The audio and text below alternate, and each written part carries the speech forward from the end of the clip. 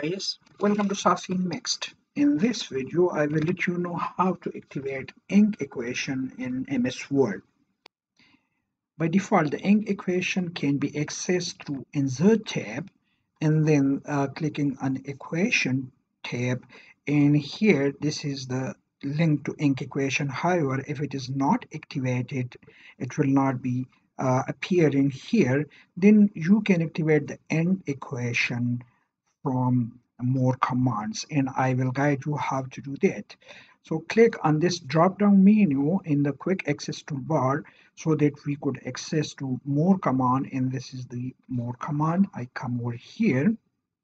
Now uh, I on the leftmost uh, panel I click on customize ribbon and then uh, here I select all commands then I single click on any command in this panel and click the I button on keyboard so that I directly go to the I uh, list and uh, clicking uh, dragging down the I list here this is the ink command.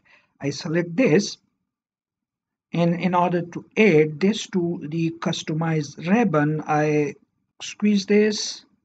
I expand the home tab and here I need to add a new folder and that folder is called new group and I can do that by clicking on the new group button. I click on it.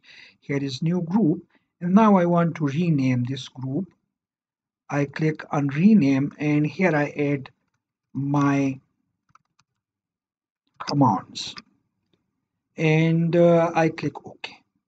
So you see now the my command uh, group has been created and this lies in the home tab and uh, inside the bracket it is written custom that is this is not the default group.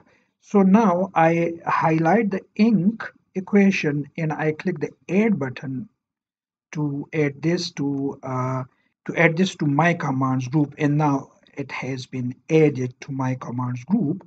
I click OK and uh, I come over here at the home tab and you see now the ink equation has been added to the customized ribbon and that lies in my commands group. So I, in order to add an inline equation I just click the ink command and I write here x plus y equal c and I click insert. And the inline equation is inserted.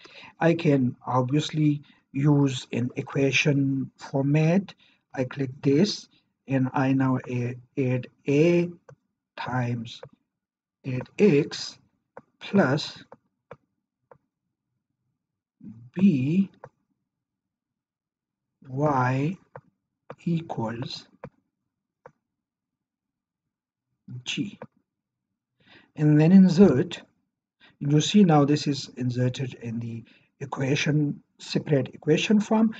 So this way you can activate ink equation and can add that to a custom group and then use that in your regular documents.